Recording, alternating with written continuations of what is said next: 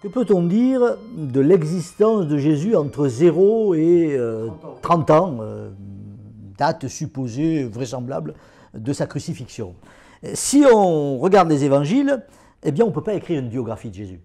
Parce que euh, Matthieu et Luc nous racontent le récit de l'enfance de Jésus, c'est-à-dire, euh, voilà, pour Matthieu, je dirais, les premiers mois de sa vie, et pour Luc jusqu'à son adolescence, mais ce sont des récits euh, qui sont des récits, euh, euh, disons, de naissance de héros, c'est-à-dire qu'il y a vraisemblablement peu de substrat historique, sauf à dire que Jésus est né à Nazareth ou Bethléem, ça se discute, et que son père et sa mère s'appelaient Marie et Joseph on ne sait pas grand-chose et on ne sait rien. C'est-à-dire que ces, récits de l'enfance sont les derniers récits à avoir été écrits. Et ils sont des récits comme tout personnage, les empereurs de l'époque, les rois de France, tous les grands personnages, il faut que cette naissance soit à la hauteur de sa vie. Donc, au fond, ce sont des récits symboliques, des récits, euh, je dirais, euh, où la dimension, euh, je dirais, légendaire, au sens que on réfléchit à partir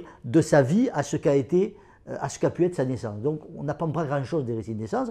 Mais donc ça c'est Matthieu et Luc. Et puis après, les Jean et Marc, de toute manière, n'en parlent pas. Et on parle de Jésus à partir du moment où commence son ministère euh, de prédicateur, c'est-à-dire euh, entre un et trois ans de sa vie. Voilà. Qu'est-ce qu'il a fait entre sa naissance et le moment où il est devenu prédicateur du royaume de Dieu? Eh bien, il faut dire très clairement qu'on n'en sait rien.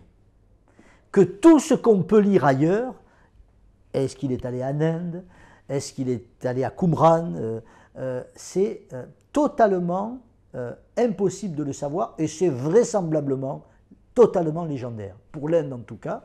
La seule chose à la limite qu'on peut savoir dans l'évangile de Matthieu, si on veut croire à ce que racontent les évangiles, c'est qu'il est allé en Égypte puisqu'il y a la fameuse fuite en Égypte. Mais vous voyez bien que même là, ça a une dimension théologique, c'est-à-dire au fond, euh, ça, veut dire quoi? Ça veut dire que la terre promise où le Messie aurait dû être reçu, il est obligé de s'en enfuir, parce que Hérode veut le mettre à mort, et après il sera rappelé du pays d'Égypte pour aller annoncer le règne de Dieu. Vous voyez qu'on reconstruit l'histoire de Jésus à partir de la Torah et des prophètes. C'est toute la, la sortie d'Égypte, d'Égypte j'ai appelé mon fils. Donc vous voyez, à la limite, la seule chose qu'on pourrait dire, c'est Jésus est allé en Égypte, mais quand il était enfant. Donc, euh, je veux dire, euh, euh, ça n'a aucune importance, je dirais, pour la construction du Jésus de l'histoire. Hein.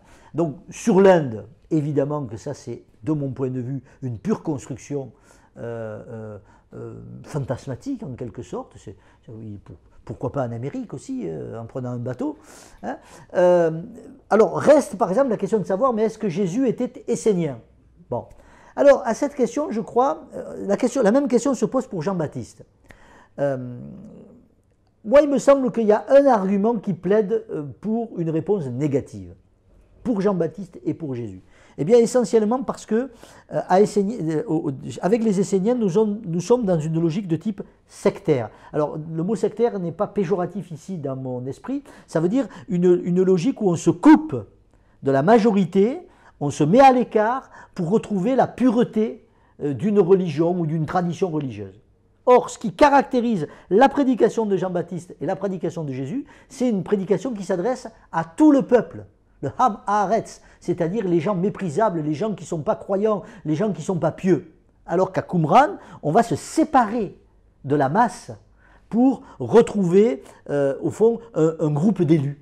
Et donc ça, ça me paraît être un argument décisif, me semble-t-il, pour dire que peut-être Jésus a croisé des Esséniens, peut-être Jean-Baptiste a croisé des Esséniens, mais il n'était pas euh, des Esséniens. Alors, on va me dire, oui, mais euh, à Qumran, on attend un maître de justice. Oui, mais ça veut dire que dans toutes les traditions du judaïsme, on attend un Messie, on attend un sauveur, on attend quelqu'un qui va venir de la part de Dieu. Mais entre le maître de justice et Jésus, euh, reconnu comme Messie, il y a une figure théologique, il y a une attente, mais c'est évidemment pas la même personne. Alors, d'abord, on n'en sait rien.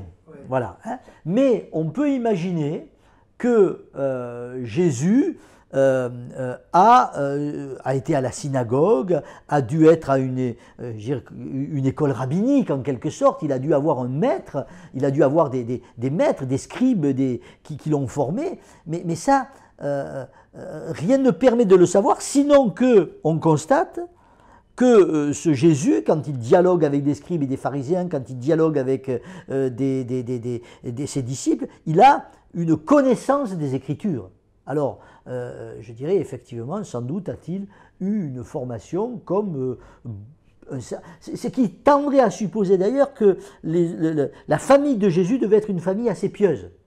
Voyez, parce que ce n'est pas tout le monde qui avait la capacité de commenter la Torah. Donc on peut imaginer ça, mais euh, voilà, il n'y a pas d'éléments euh, pour le dire.